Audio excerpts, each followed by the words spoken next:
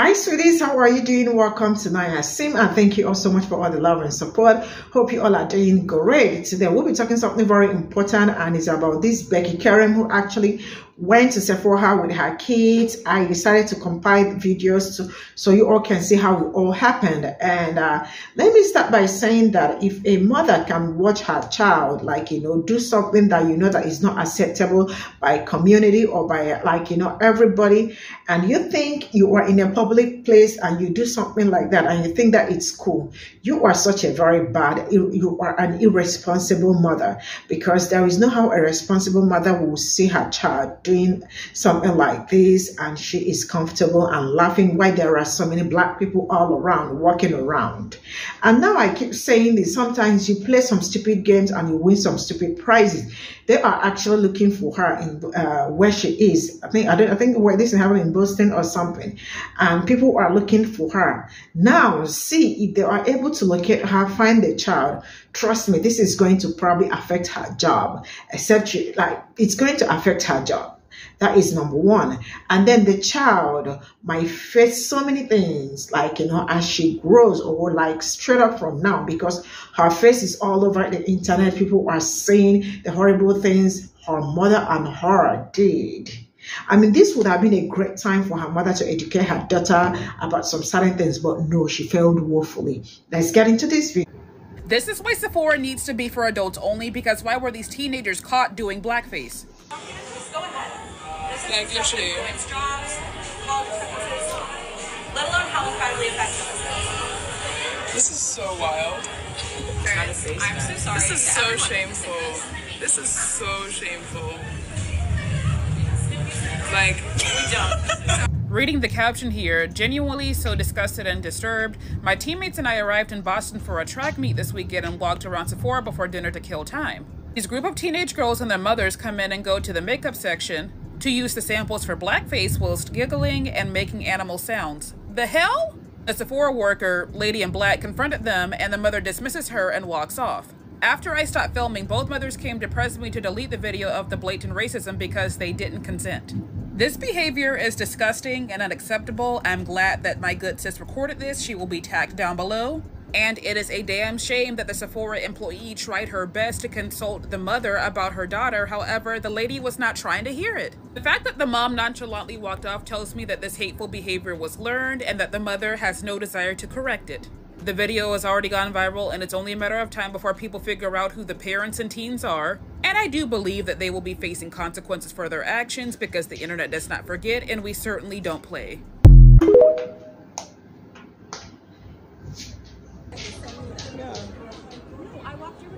Like, this lady has no shame.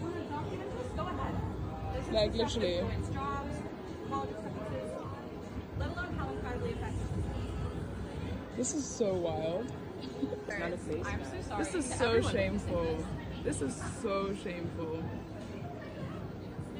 Like, This was in Sephora at the Prudential Center in Boston, Massachusetts.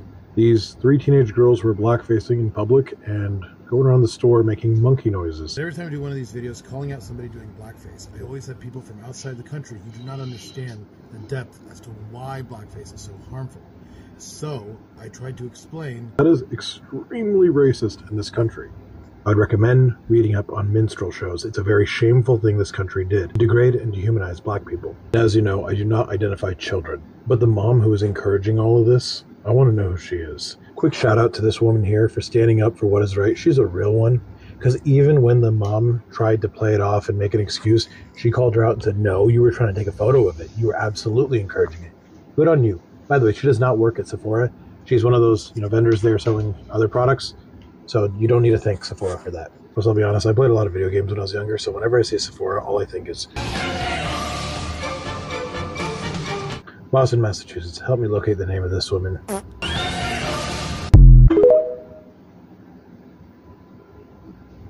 So these three teenage girls and their mother went to Sephora, and I guess for some reason the teenage girls were like, let's do blackface. And I think the mom thought it was a good idea too, considering she seemed not to be interested in what the girls were doing. But the teenage girls used the darker shades and samples available to them, and they did blackface and walked around Sephora with black people there. One of these black people is a content creator that ended up making a video of them. And in the video, there's a woman who doesn't necessarily work for Sephora, but works for a brand that Sephora works with. And she's like, dude, like, why would you do that? This will ruin your chances with schools, your future, da da da da da. And the mom is just like walking away and she doesn't care. But it's really to the girls. You've done it now, okay? You went to Sephora, you did blackface, black people saw you, they got offended, and now your faces are all over social media what's the next move? Because truly, I want to know what went through your mind that you were like, let me walk into this makeup store in 2024 in a mall that's probably crowded with black people and let me do blackface. Like, wouldn't it have just been better if you guys just did blackface in private? If you guys just stayed racist in private? Because I don't doubt that you and your mom is racist and so are your friends, but like, if you did it in private, you would have been fine. Nobody would have known. Like, why'd you have to go to Sephora to do it? You could have done it at home. I think it would have been just easier for you to be an awful racist person behind closed doors. And I think if you're one of these people, you should take privacy really seriously. This is why Sephora needs to be for adults only because why were these teenagers caught doing blackface? So this video has come up in different forms in my For You page over the last like day or two, and so I'm gonna talk about it real quick. I have some thoughts. And in case you're wondering, this is just a microphone. It's not an AI pin, it's a microphone. Alright, so whenever I see stuff like this, my first thought is that I am a little shocked. Not because I'm naive about the existence of racism, that's like far from the case, but because it is genuinely shocking to me to see young people, right, like younger than 20, engaged in just gutter racism, right? The kind of racism that wouldn't be out of place uh, in the 1920s, right? The kind of thing you'd see at the little short before you saw your feature at your local theater. Like really intense stuff. And what those teenagers are accused of, right? Um, uh, putting on blackface, making animal noises, that's, that's like some pretty gutter racism. So it's, it's shocking to me in that regard. And my first thought after that is to ask, where could they have possibly learned this? Like, where does this come from? Because presumably they exist in the same society we all do, which is a racist society, but also one where there's a real taboo on public displays of racism. And the idea that you would go in public, no less, and do this sort of thing seems to really cut against well, the way most people are socialized these days. You can say, well, they learned it from their parents, but their parents are also not that old. We're not talking about 60, 70, 80 year olds. We're talking about like 30, 40, maybe at the oldest 50. Um, uh, and so it's possible they learned it from their parents, but it's still, I still find it very strange.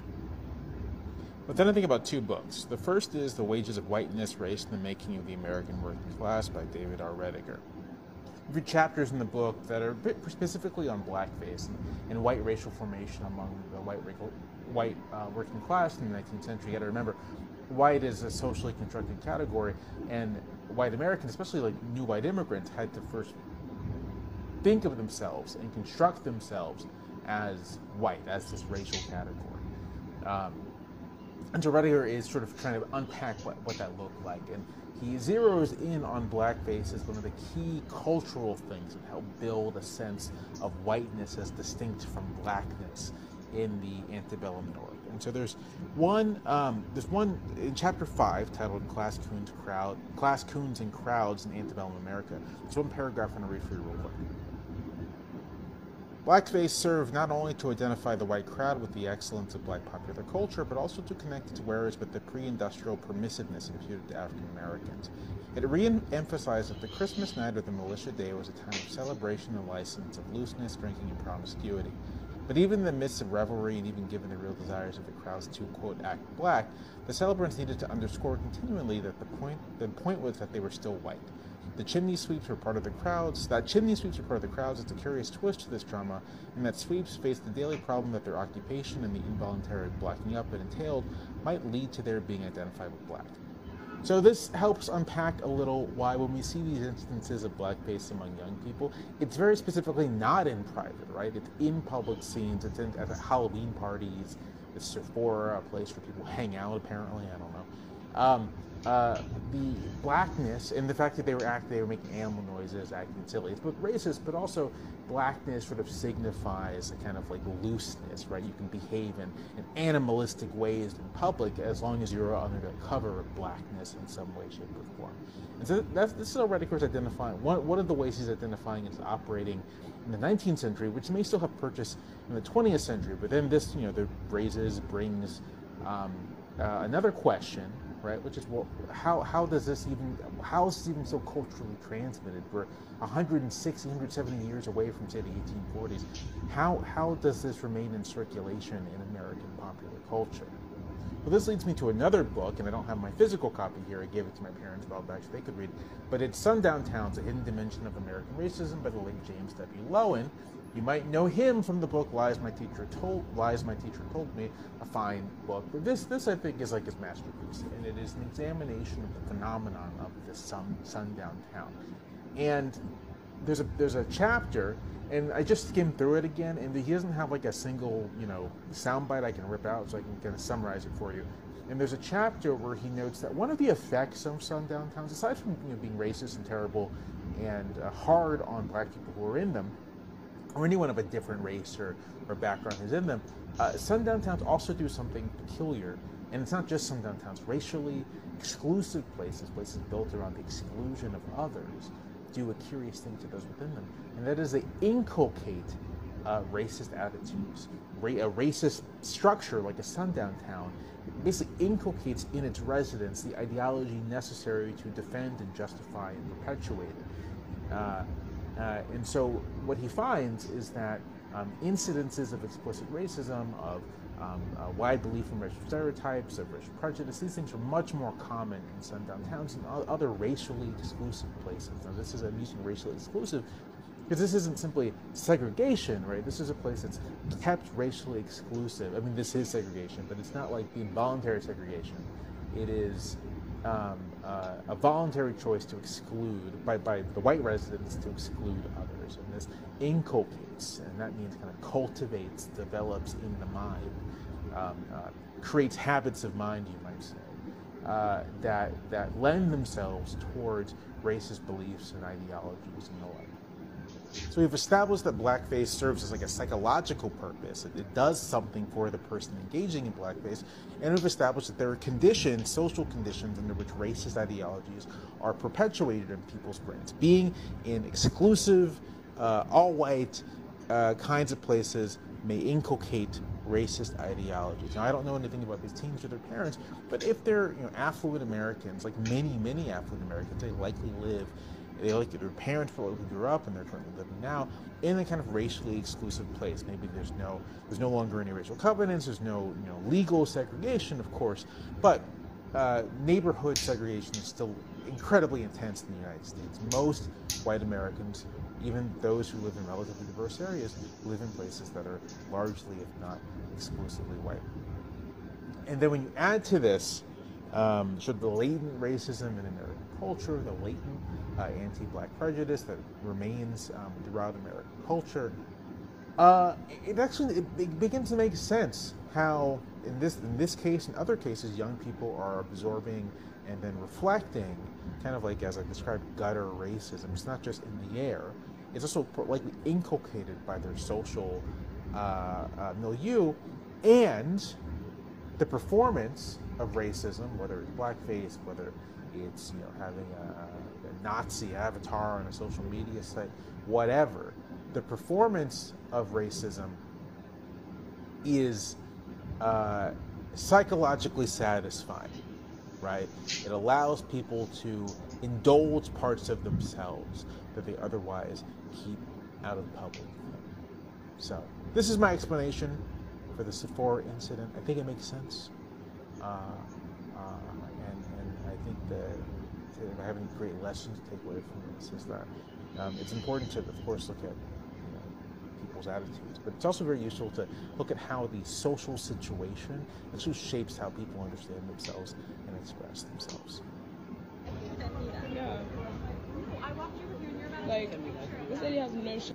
So first things first, yes, this is a new wig. Yes, I'm still working on it. I'm still trying to see how I like it. And if you say anything about me looking like either the guy from Charlie the Chocolate Factory or Dora the Explorer, best believe that will be my 13th reason and I will put your name in my note. Play with me. Now, if somebody had walked into that Sephora and saw your daughter in blackface, asked no questions, and simply swung off on your daughter, that'd be on you you taking pictures for laughs and giggles, but really you put your daughter at risk. Instead of you saying, go wash your face, we don't do that. You laughed and you wanted to take pictures and you encouraged it. Now, when she go off to school and her friends recognize her or you and start spreading that video around of her in blackface and she's being bullied and harassed, I don't want you to come to social media crying about it. No, ma'am. No ham, no turkey. When she's not able to go off to college because people constantly bring this video up, I want you to remember that you thought it was funny. It's the simple fact is that you allowed your daughter to walk around like that in public and thought people weren't going to say nothing to you. Kudos to that lady, okay? Kudos to her because she told you it's unacceptable. And when you try to say, oh, like, you know, I didn't know, she was like, no, ma'am, you took pictures of it. You thought it was funny. That's standing on business. That's standing on business, people. That right there, okay? She was like, I'm not here for the bullshit. Your child's in blackface. You got her walking around here. You are offending people by doing this, and you thought it was funny. Now, one thing I've learned in life is that when people are doing wrong and they get checked, especially by their own, they love to make excuses. And I love that this lady peeped that and was like, no, you thought it was acceptable. You were laughing. You were trying to take pictures. Yeah. Like, this lady has no sh- I wish parents taught their kids that it is not okay to be blackfishing or blackfacing. You're in Sephora. You literally could go to a makeup expert and ask them to do a foundation match to your skin. You don't need to try a color or foundation that is far away from your skin complexion. It makes no type of sense. And I also see that her mom is right beside her and she's not saying anything to her because she thinks that that's okay. And it's not. You're the adult here. You have to educate your teenagers on what's right and what's wrong. And right now, she's doing something wrong, and you need to tell her that. I've seen this situation numerous of times, and I think it's time for people to educate themselves on black facing and the history behind it because it is extremely disrespectful to do that, especially when you're in front of a bunch of black people in Sephora. So I hope this young lady educate herself and I hope the mom does better when it comes to raising her child because this is not okay at all. Like, this lady has no shame. Let's remember who were the ones that brought the plague. Because Europeans were not very clean people. That's all I'm going to say. So a lot of eugenics get passed down. And I'm not saying it's every person out there because I'm I'm most definitely sure that it isn't. But there's a demographic that are dirty as hell. And I just know it. Dirty, musty, disgusting. You know why? Because the other day I was at Big Lots. And I was buying something. And there was this white man. I don't know if he had just gotten off a bender. I don't know what happened. Pero una, like this pungent, like disgusting ass smell. It was crazy. So I'm not surprised. I'm not surprised. I'm not surprised. It's just dirty dirty. And not only dirty, but you're also an idiot. Like crazy. You pick a struggle. It's either you're dirty or you're an idiot. You can't be a dirty idiot. And a racist too. Crazy. These Sephora girls have made many people mad for painting their faces black and then doing monkey noise.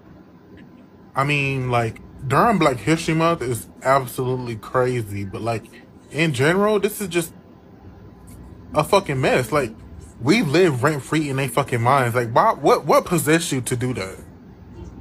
Hmm. Again, I say during Black History Month is crazy, but like to do it at all, and then I'm just gonna walk away like ain't nothing happened, baby. get your child. And I'll say this once, and I ain't, I ain't never gonna say it again. Probably not. Who knows? Hold on. Racism is taught.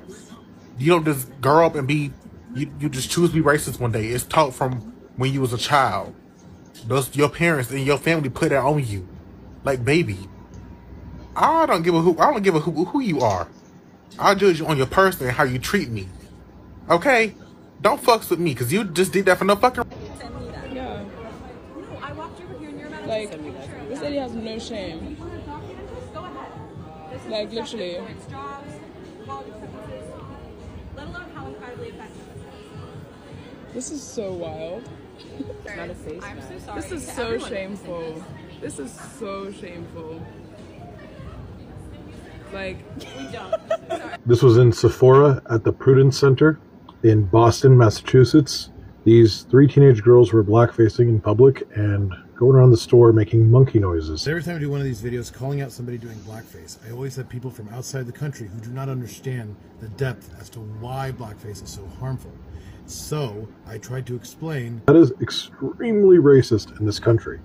I'd recommend reading up on minstrel shows. It's a very shameful thing this country did degrade and dehumanize black people. As you know, I do not identify children, but the mom who is encouraging all of this, I want to know who she is. Quick shout out to this woman here for standing up for what is right. She's a real one. Because even when the mom tried to play it off and make an excuse, she called her out and said, No, you were trying to take a photo of it. You were absolutely encouraging it. Good on you. By the way, she does not work at Sephora. She's one of those, you know, vendors there selling other products. So you don't need to thank Sephora for that. Plus, I'll be honest, I played a lot of video games when I was younger, so whenever I see Sephora, all I think is Boston, Massachusetts. Help me locate the name of this woman.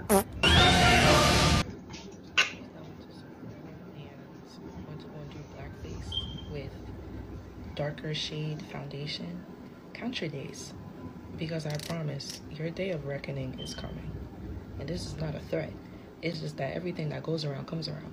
You might think it's fun and games now, but when you're trying to get into college and they're not accepting you, or you're trying to get a job and they're not accepting you because they saw your face doing blackface a couple years back, don't cry, don't beg. I saw a lot of people like trying to hold the the mother accountable, like, oh, um, why didn't the mother stop them or something like that. I honestly, within my heart of hearts, believes she condoned condoned that behavior because let's be honest, if she was in the store with them, for them to proceed to paint their whole entire faces black, she definitely saw it and was okay with it. So, and she de- that's definitely learned behavior. Racism is taught. It's not something that people just pick up. It's taught. My thing is the insensitive insensitivity. Like you guys did this in public in a public place. So with in a place that black people would probably be because hello, it's a freaking mall. And then what was your game plan after you did that? What what what, what was gonna happen? Were you guys gonna walk through the mall with that on your face? Like I feel like the critical thinking is in the dustbin because why? I don't know what it is about this particular Black History Month, but the tomfoolery is at an all-time high. Y'all need to get it together, cause I'm. mm. Like, I strongly believe that people do not have any social class or social etiquette etiquette because yesterday, um, unrelating to the video, but it's something similar. I was in Target and this lady was opening the Tree Hut body body butters and she was swatching it. Like she was dipping her hands in it and rubbing it on her skin. And I was literally there like, that is so disgusting because you know, we don't know if our hands are clean, cross contamination, germs, all of that, and I don't know how many other people, you know, would have opened the body bottle. And I personally never thought about it like that. After seeing her, I was just like so taken aback and disgusted that now, like, I don't want to, to buy anything from Target because, you know, like, these people have no social etiquette. And I was a grown ass woman, and these are teenagers. Like, this is society we live in. These people have no social etiquette whatsoever.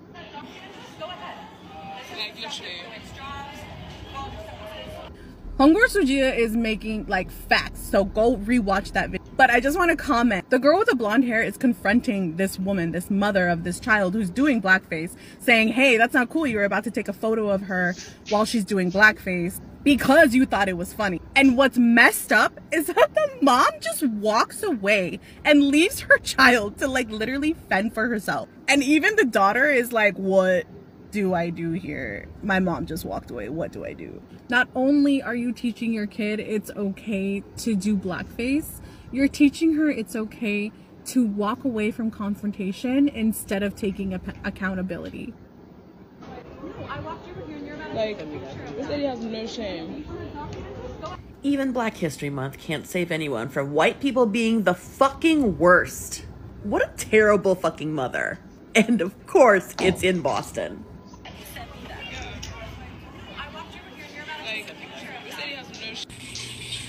Deport racists!